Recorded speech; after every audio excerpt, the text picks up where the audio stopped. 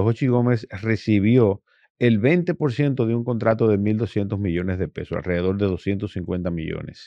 El gobierno debe garantizar el transporte y la, y movilidad de esta nación. A partir del año 2012, 2011, por ahí, cuando él tuvo la situación con quien era eh, la vicepresidenta de la República, Margarita Cedeño, ¿verdad? Y, un escándalo que hubo al respecto de algunas informaciones que manejaba Jochi Gómez, que en alguna medida hizo pública. Aquí la parte interesada de esto y quien echa el pleito por el gobierno es el DNI. Ya nosotros perdimos una cantidad de dinero que se le avanzó por ese contrato a Jochi Gómez. ¿Cómo lo hicieron operar? ¿Tú nunca te has hecho esa pregunta? ¿Cómo se va a pagar el futuro de la, del transporte y la movilidad en República Pero Dominicana? espérate, espérate, porque aquí hay una pregunta que cualquier persona medianamente inteligente se está haciendo desde hace rato. ¿Cómo se va a seguir operando los semáforos en República Dominicana? No, ¿cómo ¿Cuá- se están? Yo creo que el candidato de Luis, si no es él, porque ¿para qué tú le vas a poner candado a algo que ya tiene candado? Y mes tras mes resulta que no se hacen los cálculos suficientes y necesarios para mantener en equilibrio tus ingresos y gastos. ¿Tú crees que eh, te van a dejar la administración de esos recursos? Bueno, señores, Transcorp Latam no solo es el tema tendencia. Es un tema tan importante que puede literalmente hablando producir un Maninter parte 2. Así como cuando Ramoncito le dijo a Hipólito, yo te tumbo el gobierno. E Hipólito dijo, yo te tranco. Y como sabrán ustedes, el final de esa historia, ambos cumplieron sus palabras. Oigan lo que estoy diciendo. Transcorp Latam es el Baninter de Luis Abinader. Tengo informaciones. Ahora, tengo frente a mí una persona que maneja al dedillo el tema, que tiene información privilegiada al respecto. Y hoy su compromiso con la audiencia de nuestras plataformas es decirnos por dónde van los tiros con este tema.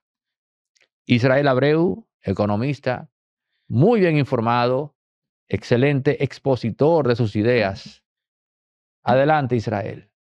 Gracias por invitarme, Aneu. y Definitivamente un privilegio. Tú sabes que en el intro que hacías hace un- unos minutos, eh, no sé si planificado o no, Espontáneo. espontáneo, bueno, pues definitivamente has dado en la diana. Al respecto inclusive de un mensaje que, que el amigo Jochi Gómez, que ya... Amigo tuyo, no mío. Bueno, do- un dominicano. Tranquilo, es solo para que, oye, tranquilo, es solo para que se sepa. Dale, dale. Bueno, muy bien. Eh, envió un mensaje de poder. El tú Ah. ver sentado a Jochi Gómez junto a Mike Pompeo. Eh, en un coloquio de manera eh, afable, en donde se establecían puntos relacionados entre República Dominicana y Estados Unidos, envían una señal clara a República Dominicana, independientemente de las, cuestionantes y de los cuestionantes manejos que Jochi Gómez ha tenido en República Dominicana, le envía una señal. Y resulta ser que esas señales entonces son las que ponen esa piedra en el zapato del gobierno de Luis Abinader, llevándolo incluso hasta la pared y diciéndole, mira, ten cuidado, que te puede costar el gobierno, le puede costar el gobierno y el futuro al PRM. ¿Cuánto cuesta el contrato de Transcorp Latam y cuánto es lo que se le ha dejado de pagar a Hochi? Quiero aclarar algo. Esto lo visualizo en términos de poder. Alguien aquí dio el primer paso en torno a lo que es una agresión, ya sea el gobierno a Hochi o Hochi al gobierno. Pero de cuánto, cuánto, cuánto es lo que se le debe a Hochi este segundo? Mira, hasta donde se tiene publicado, Jochi Gómez recibió el 20% de un contrato de 1.200 millones de pesos, alrededor de 250 millones. Ok. Recibió Jochi, que fue el primer avance. Todo esto junto y, y habiéndole descontado las garantías que supone eh, ese contrato. Sin embargo, también es, es digno de acotar las variables de importancia de este negocio. El gobierno debe garantizar el transporte y la, y la movilidad de esta nación. Cuando el sector privado no puede prestar el servicio de transporte, ¿verdad? entonces tiene el gobierno que garantizar. lanzar los guardias a las calles, que ya lo ha hecho, y transportar la gente en autobuses militares. Garantizarlo. Muy bien. Entonces, esa es la parte del transporte. Y al mismo tiempo que sea posible, ¿verdad? Movilizarse desde el punto de vista de las infraestructuras viales y de la tecnología suficiente y necesaria para ello. Ahora, el negocio con Transcor Latam implícitamente lleva consigo, y en alguna medida lo hemos comentado tú y yo, lleva consigo una parte de inteligencia. Inteligencia pura y dura, así como suena. ¿Inteligencia para qué? Para darle seguimiento a las personas, para tener cámaras y tecnología suficiente para darle seguimiento, ¿verdad? A distintos temas en diferentes escenarios y que en alguna medida, producto de los cuestionamientos y del mal manejo, porque se debe decir, ese negocio, esa parte de negocio, que es quizás la más importante, oye bien, el tú poder viabilizar y generar ciertos niveles de inteligencia a través de las calles de República Dominicana, que todo el mundo sabe lo importante que es, ¿verdad? Es quizás más importante que simplemente permitirle el tránsito a un ciudadano. Oye esto, tú estás hablando de extracción de información Tuya, mía, de todo. Sí, sí, sí, pero tranquilo, vámonos al paso, que tenemos todo el tiempo del mundo para que la gente sepa exactamente qué es lo que hay detrás de esto. Entonces, tú estás hablando de que hay un proceso que se desprende de montar esa estructura que es la extracción de información. Así y que en teoría la información que se extrae le sirve al Estado dominicano para una vez analizada, pues eh, eh, conceptualizar, si se quiere, programas que agilicen y optimicen el tránsito, ¿correcto? Sí, sí, pero, pero, tú te estás refiriendo a una pata de la mesa. Pero es que, ajá, yo sé por Tenemos eso. Ahora, la otra parte tiene que ver con que dentro de esa información está implícita información que tiene que ver directamente con cada individuo, con cada ciudadano que transita por las calles. Entonces, la pregunta que te voy a hacer a qué más ropa, porque es lo que ha estado circulando, es cuál era en verdad la función para la, o servicio para la cual el gobierno contrató a Jochi Gómez. Adelante. Mira, está claramente implícito que la importancia de la viabilización del tránsito en República Dominicana y del transporte, más que mover a través del paso o no en una avenida de República Dominicana es la inteligencia, el manejar información, el tener cámaras en cada uno de los postes de luz de República Dominicana, el tener sonido, el poderle dar seguimiento a cualquier ciudadano, el hacer inteligencia inclusive de negocio, es quizás la parte más importante del acceso a esa información que se iba a producir a través de la empresa Transcor Latam. Que algo salió mal, sí, obviamente. ¿Qué salió mal? Sin embargo, ¿verdad? los diferentes actores e intereses que pululan dentro del mismo PRM, que se están haciendo el harakiri con eso. Porque eso no salió de la oposición. Eso no fue nadie del PLD, de la Fuerza del Pueblo, ni del PRD, que salió a caerle atrás ese negocio.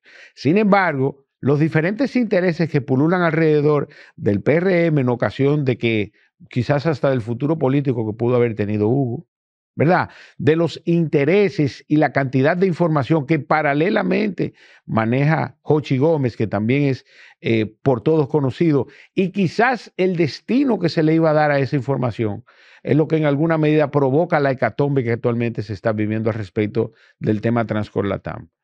Que cada vez que en República Dominicana se apaga un semáforo, que es quizás lo menos importante para que tú veas, nos, están sacando dinero del bolsillo, literalmente. Cada vez que hay una situación del tránsito en República Dominicana, el centro metropolitano de la ciudad se paraliza. Sin embargo, el verdadero pastel de, ese, de, esa fiesta se trata de información, manejar inteligencia. ¿Quiénes cruzan? ¿A qué hora cruzan? ¿Qué hacen en las calles? ¿Qué yo puedo eh, conseguir de la información cuando la gente se expone en las calles? Desde el punto de vista de la inteligencia. Y desde el punto de vista de, una inteligencia superior, de inteligencia de negocio, yo puedo medir la cantidad de personas, la cantidad de vehículos, la cantidad de motores que transitan por las diferentes calles de República Dominicana, pero que el destino no era una inteligencia sana ni de negocio, era una inteligencia para mantener a la inmensa mayoría de ciudadanos y actores políticos y sociales de República Dominicana en alguna medida constreñidos al respecto de las diferentes actividades que manejan. Una de las cosas irrefutables en la vida es que el dominicano es lo máximo y a nosotros nos enorgullece llevar el ADN dominicano en nuestro nombre. Lote de lotería y don de dominicano, es decir, Lotería Dominicana. Está bacano eso, tú no te sabías eso. Lotedón es tan dominicano como el merengue. Lotedón es tan dominicano como el arroz con leche y el sancochito que prepara mi abuela cuando está lloviendo. Ay, ay, ay, hasta hambre me dio, Dios mío, no me haga eso. Amamos tanto ser dominicanos que en nuestra quiniela ahora la llaman la dominicana. Qué lindo suena. Puede que sepas muchas cosas de Lotedón, pero ¿sabías que Lotedón tiene cuatro presentadoras de sorteo? Que tiene cuatro ganadores millonarios de 25 millones de pesos con el Agarra 4 y que justamente este mes de agosto cumplimos cuatro años de aniversario, bien de cuatro. Póngame un Agarra 4, por favor. Anote. 44, 48, 49, 04, 45. No es verdad que el, trans- que el negocio de Transcor Latam era simplemente manejar semáforos en República Dominicana. Y yo creo que con lo que acabamos de explicar ya la gente lo tiene claro. El principal objetivo de la empresa Transcor Latam a través de Hochi o a través de quien sea que haya eh, obtenido ganancia de causa en el, el- en el contrato de compra y contrataciones, el objetivo era ese, manejar información de todos los ciudadanos que nos movemos en la zona metropolitana, hasta el más mínimo detalle. Te fuiste en rojo. Ahí anda Neudio hablando caballá en, en su, en, su, en su programa y míralo ahí yéndose en rojo. Estamos claros en, en eso. Ahora, Y eso le puede costar el gobierno, Luis Abinader. ahora, se desprende algo más de lo que tú has dicho, pero vamos por parte. Yo te pregunto, el gobierno contrata a Jochi Gómez y ambos saben realmente para qué se le está contratando. Ambos saben que lo de los semáforos es una fachada, una coartada y que realmente el negocio es la información. Respóndeme sí o no. Claro que sí, el negocio de la información. Ambos lo saben. Y en alguna medida se trató de solapar el nombre de Jochi Gómez. Si bien es cierto que ya él declaró y hizo público que él era el actor principal en esta novela, ¿verdad? De Transcorlatán y los semáforos en República Dominicana, no menos cierto es que y se intentó solapar. Ese documento en donde Jochi Gómez aparece como el beneficiario final es un formulario que se llama un H1 que hay que sentarse a observarlo, a pesar de que la ley de compras y contrataciones públicas establece que usted tiene que hacer su due diligence, su, su debida diligencia a la hora de comprar. Eso no se hizo. Y no fue sino hasta cuando él mismo decidió declarar que él era el beneficiario final de todas las acciones que ahí se realizaron. No sé si tú lo recuerdas, eso fue lo último que se batió aquí en República Dominicana. Y finalmente entonces se sometieron a quienes eh, representaban a la compañía y en ningún momento de todas esas acciones sa- saltó el nombre de Jochi Gómez al respecto de ese caso.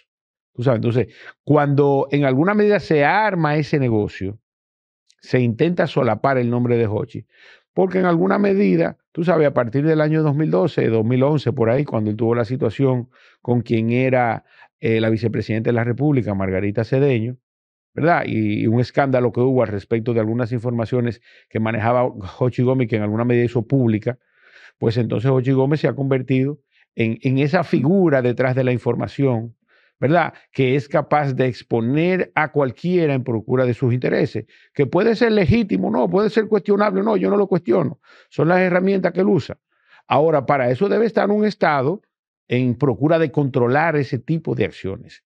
Y aquí se evidencia nuevamente, ¿verdad? Las componendas al respecto de articular negocios, ¿verdad? Solapando nombres y también escondiendo el interés ulterior.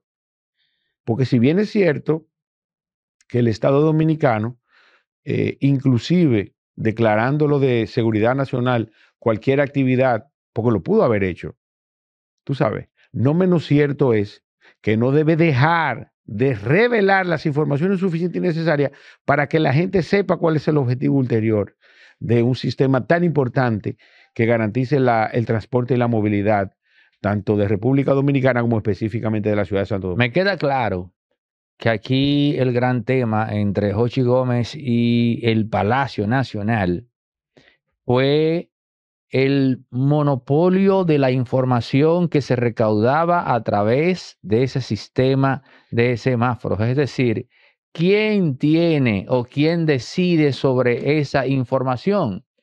Pero dentro del gobierno, y vamos a decirlo con nombre y apellido, la parte interesada al respecto es el DNI.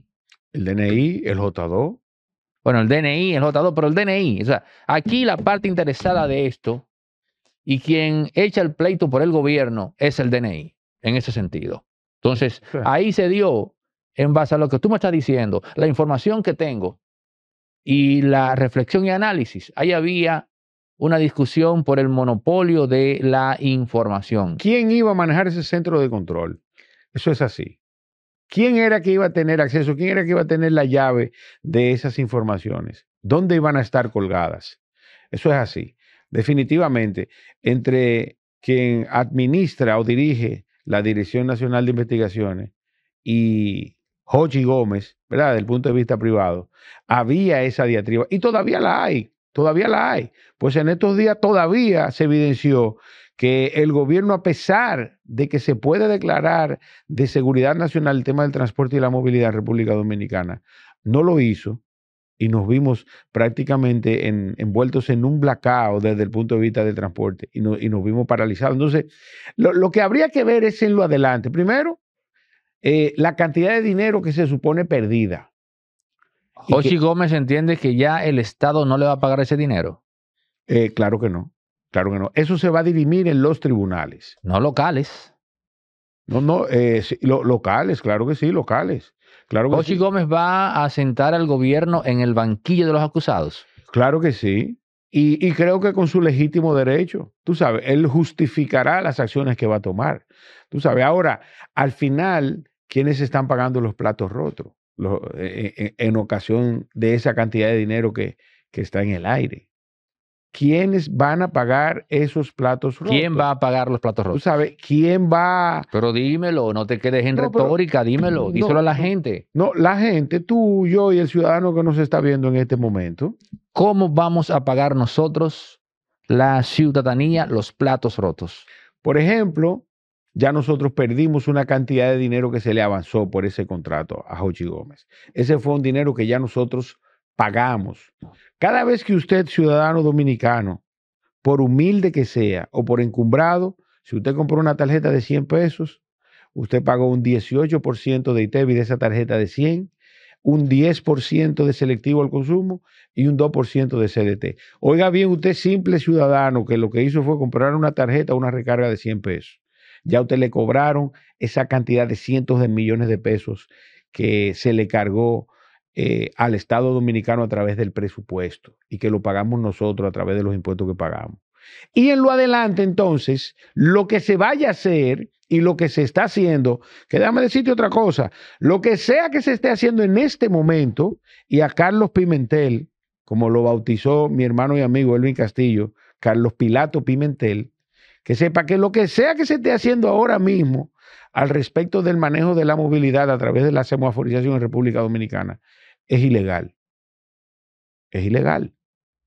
El Estado Dominicano, óyeme bien, a ninguna institución del Estado Dominicano ni siquiera se le permite tener una caja chica que no, que no esté previamente auditado. Ahora, ¿cómo están pagando? ¿Cómo están manejando esos semáforos? Sería importante que Carlos Pimentel lo explique, ¿verdad? Y que explique también cómo es que, imaginémonos que Jochi Gómez es culpable, que no lo sé.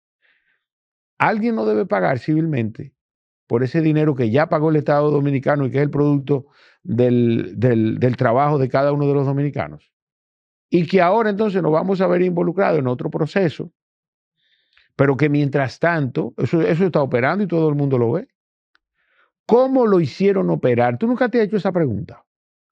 Si todo lo anterior fue ilegal, y los montos que se manejan al respecto implican un nivel para hacer una, una licitación importante. ¿Cómo lo están manejando hasta ahora? Cualquier cosa que estén haciendo es ilegal. Eso es lo segundo. Y lo tercero, entonces, ¿verdad? ¿Cómo se va a pagar el futuro de la, del transporte y la movilidad en República Pero Dominicana? espérate, espérate, porque aquí hay una pregunta que cualquier persona medianamente inteligente se está haciendo desde hace rato. Si tenemos un impasse entre la empresa que brinda el servicio de, si se quiere, la semaforización del país, sobre todo de la capital, y que el que decide en esa empresa está, en buen dominicano, cerrado a banda contra el gobierno, y viene un proceso que tú has revelado aquí a nivel legal, un litigio, yo te pregunto a ti, ¿cómo se va a seguir operando los semáforos en República Dominicana? No, ¿cómo se están? ¿Cómo se están ¿Cómo van a seguir? Sí, porque si, corrígeme, Transcor Latam a este segundo está o no está dando el servicio. Eso no se sabe. Ahora, lo que sí no se sabe lo- si Transcor Latam está no, dando el, servi- el porque- el mira- servicio. Porque mi- mire, mi- lo que sí se sabe es que el contrato fue cancelado hace unos 30 días atrás. Ahí fue que se confirmó que el contrato con Transcorlatán fue cancelado, que no fue hace seis meses cuando explotó el escándalo, que le costó el puesto a, a mi amigo Hu- Hugo Veras. No, fue ahora que se canceló ese contrato. Y que además entonces, ¿cómo me explican a mí? Ok, se canceló el contrato. ¿Cómo? ¿En qué forma? ¿Y cuánto nos va a costar el seguir operando el sistema de semaforización en República Dominicana? Para que no entre dentro del, dentro del marco de la especulación y de la especulación entonces después a la ilegalidad. Porque alguien le está pagando por el manejo de eso. Yo advertiría que existe la posibilidad de que sea Transcorlatán con el nombre de otra empresa. O sea que al final del día el propio gobierno se entendería por debajo con Jochi Gómez. Pregunta loca, ¿eh? Pero en base a lo que acabas de decir. Yo creo que si no lo ha hecho, lo va a hacer después de ese conversatorio que tuvo Jochi Gómez con Mike Pompeo. Yo creo que sí, que es posible que le busquen la vuelta por debajo de la mesa. Sin embargo, ahora, ¿quiénes vamos a pagar otra vez?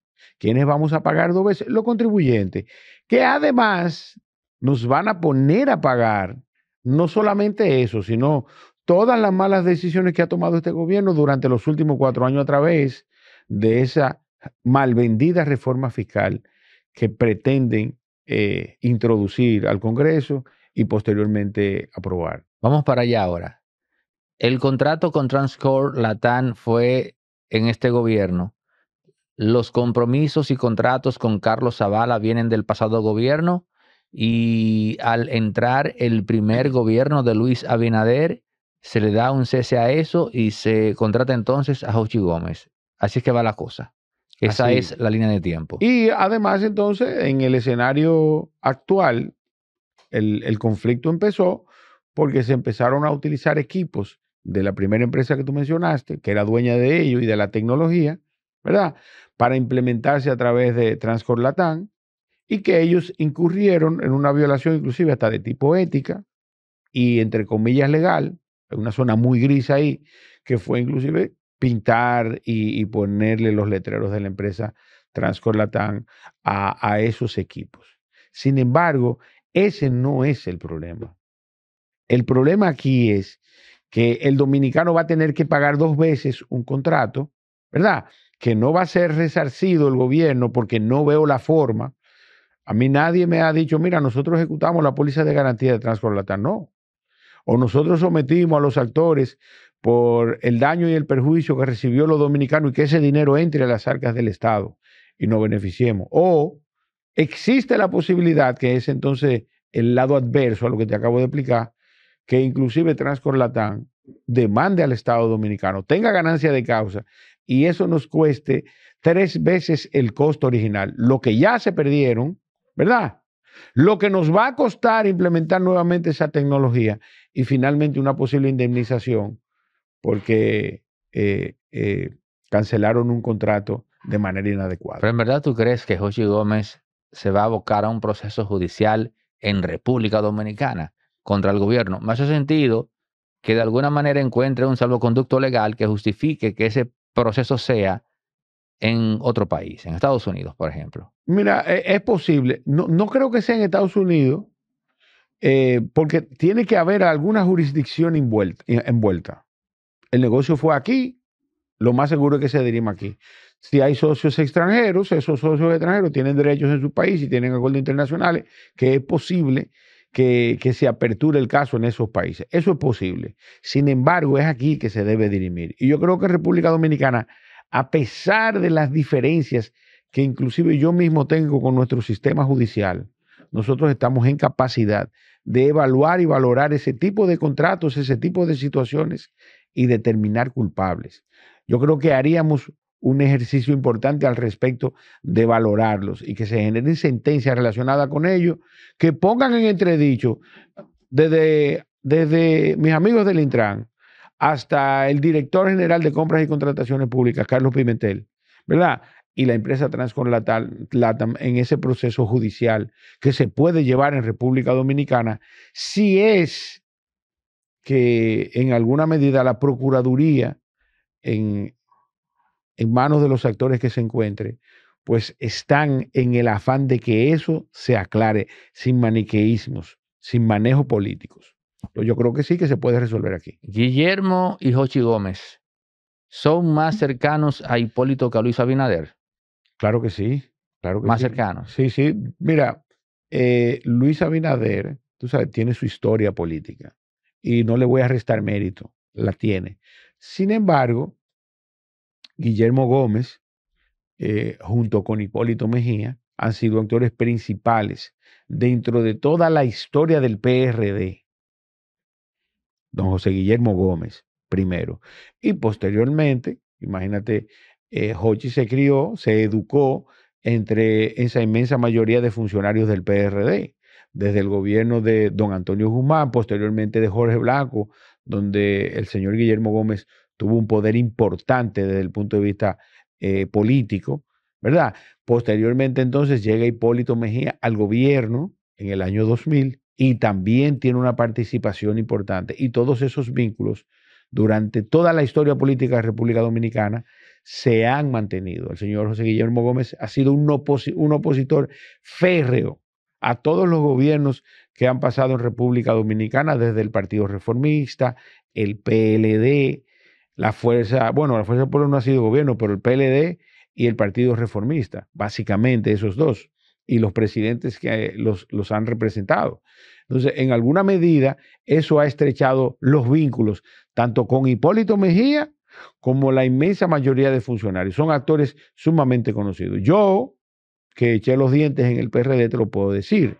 Es así. Ahora, en el caso de Luis Abinader, que era un actor también a través de su padre, del PRD, eh, secretario de Finanzas de República Dominicana, tanto en el gobierno del 65 como posteriormente en el gobierno de Jorge Blanco, don Rafael Abinader, para que tú sepas, eh, el equivalente a lo que soy el ministro de, de Hacienda, eh, fue don José Rafael Abinader, tenía esos vínculos, lo que no necesariamente los tenía Luis desde el punto de vista del activismo político.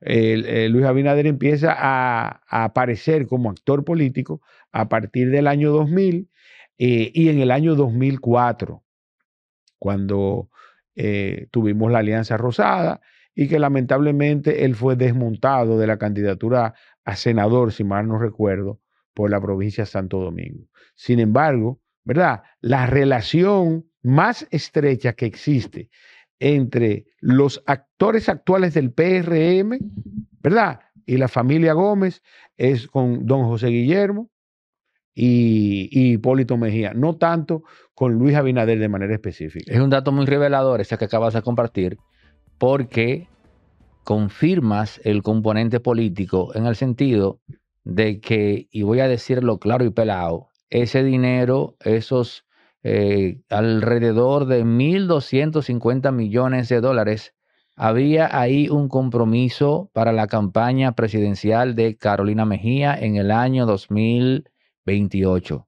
siendo esa partida la principal fuente presupuestaria. Y Luis Abinader entiende que ya en estos últimos cuatro años no es tan imperativo un compromiso con Hipólito Mejía. Naturalmente, solamente sabe Luis Abinader en su foro interno cómo él se va a manejar de cara al 2028, qué es lo que él va a hacer. Porque bien pudiese abocarse a apoyar a uno de los que están, ya sea eh, David Collado, ya sea Yayo Sanz Lobatón, ya sea eh, Carolina o ya sea Wellington Arnott. O puede hacer lo que hizo Danilo, un quinto candidato que hasta ahora nadie sabe quién es. O sea, ahora, lo que él va a hacer solo lo sabe él. Ahora, lo que queda claro es que con este impago, con este tema, le está matando el gallo en la funda a Hipólito Mejía y al proyecto presidencial de Carolina. Mira, yo creo que el candidato de Luis, si no es él, porque ¿para qué tú le vas a poner candado a algo que ya tiene candado? Le va a poner dos candados. ¿Por qué yo voy a tocar algo que está seguro? ¿Por qué? No, no hay ninguna razón. Yo creo que Luis Abinader se va a comer su tiburón podrido y va a aspirar en el 28. Y de no ser así, óyeme bien que lo estoy diciendo aquí, frente a ti, Aneudi, el candidato de Luis Abinader va a ser Danilo Medina. No entiendo. Solamente hay dos razones para tú tocar la constitución de República Dominicana desde el punto de vista político. Disimula tus intenciones. Robert Greene. Son o el reelegirse o el sacar del panorama político a todos esos actores dentro de su partido y subverticiamente apostar a Danilo Medina. Abrir nuevamente la constitución para que inclusive aunque él no vaya, Danilo Medina pueda participar nuevamente y garantizarse impunidad. Porque es posible que dentro del mismo PRM él no se pueda garantizar impunidad. Esa es mi forma de verlo. Y estoy en un alto porcentaje seguro de que eso va a ser así. O va a ser el propio Luis Abinader o va a ser Danilo Medina a quien de manera directa o indirecta Luis Abinader va a apoyar. Y por eso van a permitir que en alguna medida el, la constitución de la República Dominicana sea revisada. La reforma fiscal. ¿Qué sabes de esto? Mira, eh, lamentablemente el pueblo dominicano va a ser el sacrificado, va a ser el cordero que va a ser sacrificado nuevamente a través de esa reforma fiscal.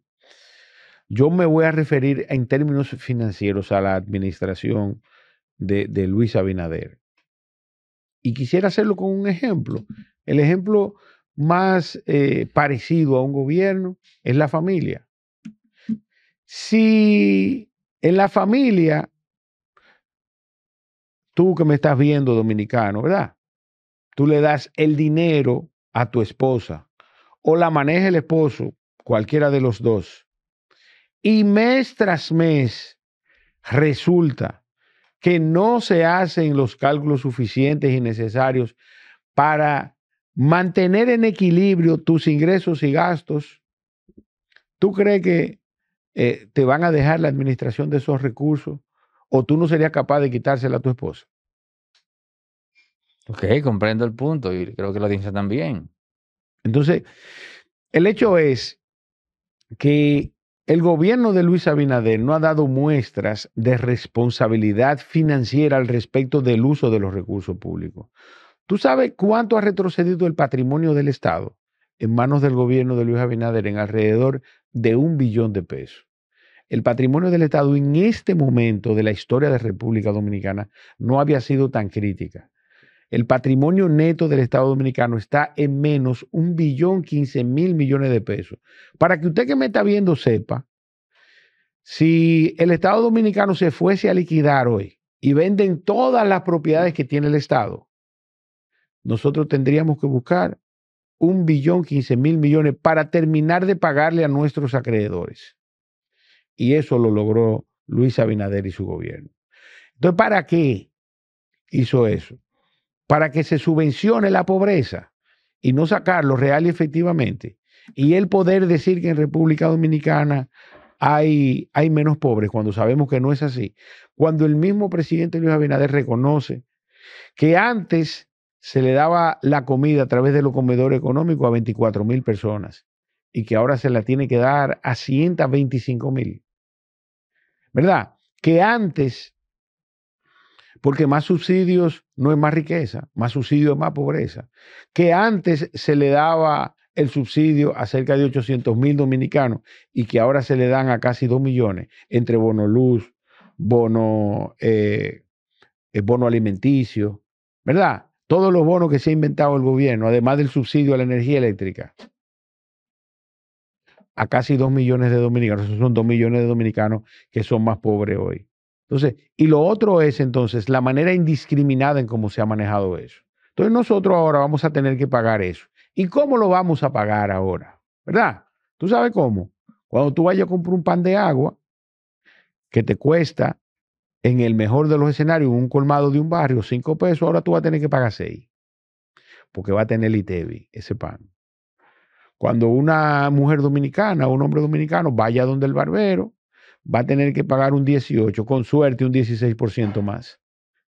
Cuando tú y yo nos liquiden el impuesto sobre la renta, que somos de la clase que paga, porque a ti no te entra un peso sin que te lo retengan, ni a mí tampoco, ni a mí tampoco. Entonces, vamos a tener que pagar no un 27 de impuestos sobre la renta como estamos pagando ahora, sino un 30. ¿Verdad? Mientras tanto, tú no ves decisiones serias al respecto de la reducción del gasto corriente. Bueno, pero por él parte fundió recientemente varios ministerios.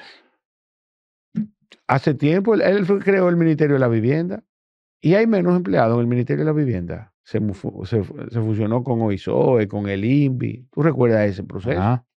¿Verdad? sí. Y lo único que se hicieron fue pintarse los edificios. ¿Tú sabes de cuánto, cuánto pasó la nómina pública del año 2019 al año 2023? De 139 mil millones de pesos, que era la nómina pública total, a casi 270 mil millones de pesos. Entonces, no es verdad, ¿verdad? Que tú utilizando los recursos públicos para hacer política, tú puedes pedirle a la gente que haga un sacrificio adicional. Que la gente sepa que si usted con 10 mil pesos iba a hacer, hacer una compra promedio decente, con esos mismos 10 mil pesos usted no se va a poder llevar dos funditas del supermercado, por lo menos la clase media. Y si tú tuvieras un teléfono aquí y los abriéramos para que la gente llame, tú confirmarás lo que yo te estoy diciendo. Tú sabes. O tú que tienes muchos seguidores en YouTube, hazte una encuestica de tres preguntas y empieza por la más favorable.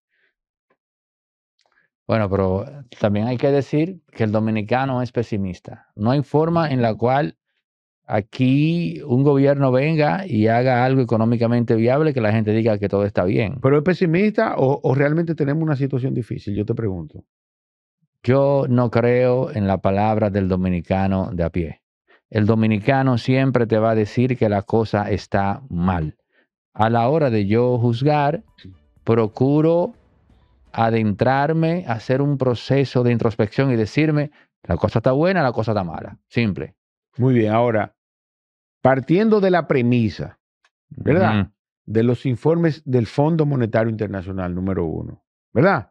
Partiendo de la premisa de los déficits fiscales que hemos tenido durante los últimos cuatro años y partiendo de la premisa, oye bien, de que el presupuesto para el año 2025, los mismos PRMistas que están siendo relativamente conservadores, han estimado un presupuesto por debajo del último año, que sería este que está, que está en proceso de ejecución.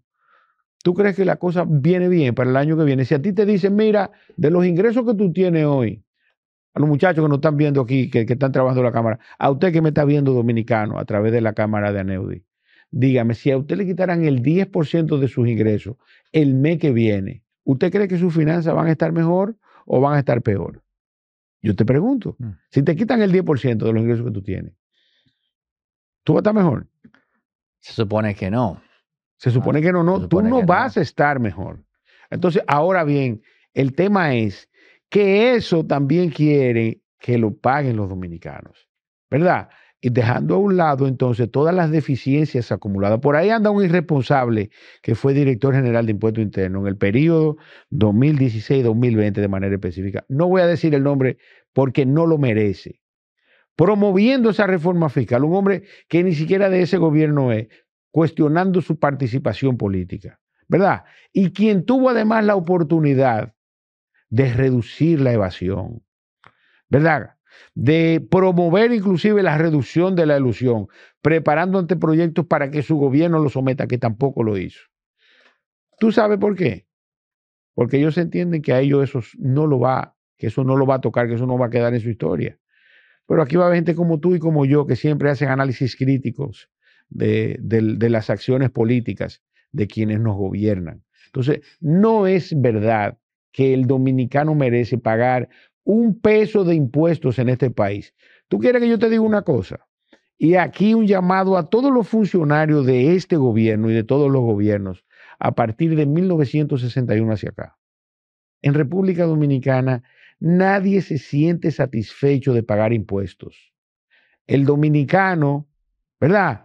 Siente más satisfacción cuando evade que cuando paga impuestos para que tú sepas, se siente más feliz cuando deja de pagarle cualquier impuesto al gobierno, porque sabe que no va a haber ninguna retribución, porque sabe que va a pasar lo que pasó con Jochi Gómez hace unos días, como lo que ha pasado con otros casos de corrupción en República Dominicana.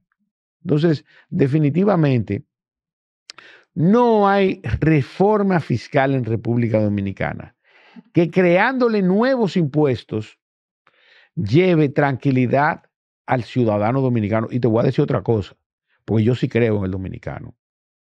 No, no es que yo no crea, simplemente dije que el dominicano es pesimista. Para el dominicano la cosa siempre está mala. Para el dominicano siempre el, el pasado fue mejor. El dominicano siempre vive con el lema de abajo el que está arriba.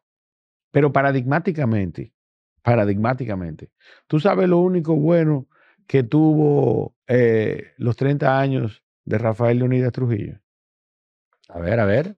Lo malo que nosotros lo hemos hecho a partir de 1961. Pues no tuvo nada bueno.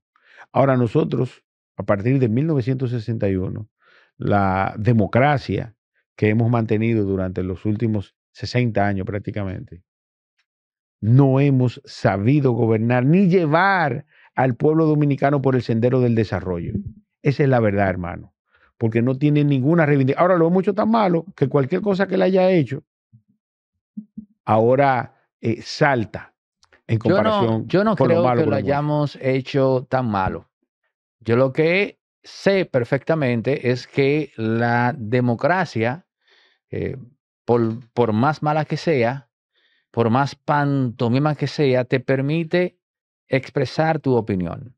Entonces, cuando tú expresas tu opinión en términos humanos, dada la naturaleza del, eh, del ser como tal, que se es más proclive, se es más dado a manifestar el malestar antes que el bien, y de tanta gente acudiendo a ese llamado de esa impronta natural, cuando tiene la oportunidad de hablar, profesa más lo malo que lo bueno, cuando la masa escucha ese mensaje, se forja una opinión pública de que la cosa está mala. Yo te digo a ti, vamos a hacer un estudio forense eh, de toda la, si se quiere, la, um, los periódicos dominicanos, los programas que están en YouTube. Lo que tú vas a ver, Israel, es una queja sempiterna. O sea, el dominicano quejándose de que la cosa está mala. Ahora, como yo no me dejo manipular y como puedo separar la paja del trigo, yo te puedo decir a ti, mira, Danilo Medina fue malo en esto, esto, esto, esto y esto. A Danilo Medina no se le puede perdonar esto, esto, esto y esto. Danilo Medina convirtió el palacio, no, el cuerpo de gobierno en un motel. O sea, el tinglado del cuerpo de gobierno de Danilo Medina en los ocho años se convirtió en una extensión del, de San Isidro y del kilómetro 12 en donde despachos de ministros fueron usados como, eh, como habitaciones de cabaña. Todo eso es decadente. Ahora, vamos a ver qué hizo bueno.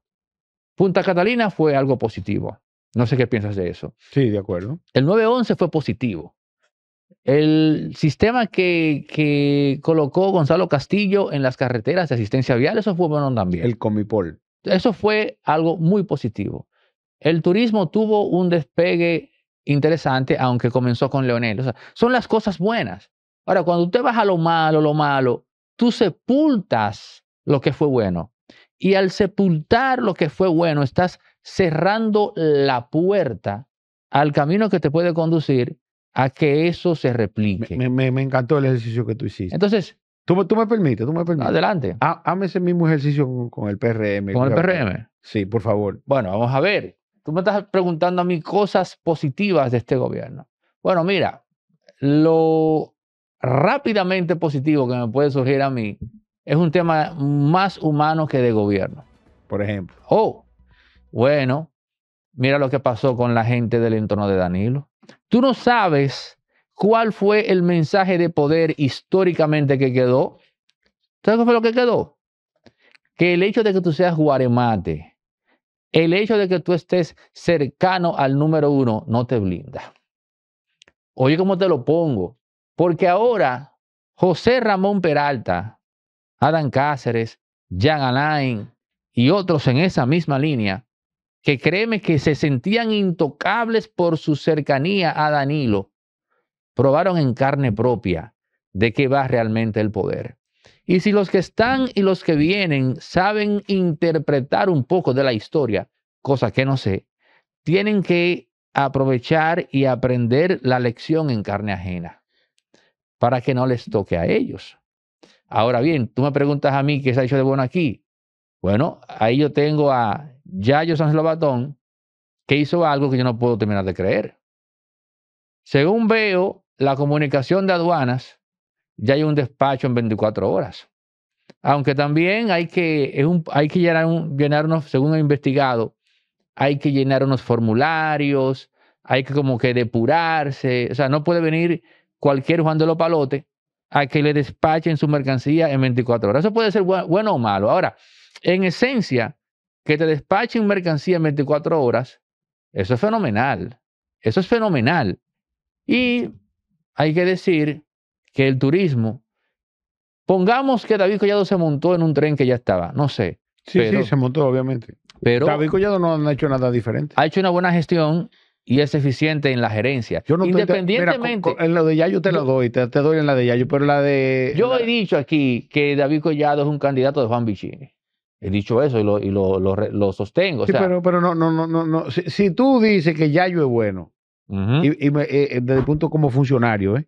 sí. me lo estás reduciendo. Si, si pone al nivel de Yayo a. No, yo te hablé de Yayo y, y luego te hablé de David, de David No, no, no, Collado. no, no, no. Si tú me dices que Yayo Mm. es bueno, que estoy convencido de que Yayo es muy buen funcionario y creo que es uno, una de las eh, una de las bondades de este gobierno. Y me dice después, ¿verdad? Que el ministro de Turismo, David Collado, es bueno también, me está reduciendo a Yayo. Yo te lo, eh, eso, eso lo está concluyendo tú. no, no, que Yo- no tiene. Que, te- Pero dime algo que haya hecho eh, David Collado. Que no sea confundirse, porque él no sabe realmente lo que es un turista y un visitante. Ajá. Además de confundir eso. ¿Qué No, otra pero- cosa? pero aprovecha, aprovecha tú y explícale entonces qué es un turista y qué es un visitante. Aprovechalo ahora. Él, David Collado, ¿verdad? Usted que utiliza las estadísticas del Banco Central y que liquida además, ¿verdad? El impuesto que usted cobra cada vez que entra un turista a República Dominicana, que ese es el interés ulterior. Un visitante no pernota en República Dominicana, no se queda ni una noche. Una persona que pisa un puerto y se va. Y un turista pernota por lo menos dos noches en República Dominicana.